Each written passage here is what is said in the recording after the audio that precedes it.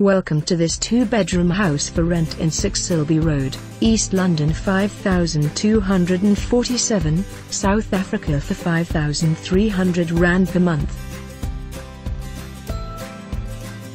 Charles Everitt International Property Group East London presents this charming home with two bedrooms, one bathroom, kitchen and spacious lounge area. The house is attached with two flats on either side of the house, with tenants. You have access to a shared garden with pool. There is parking space for two cars outside the house. Pets are welcome. Reno includes ECN, excluding electricity.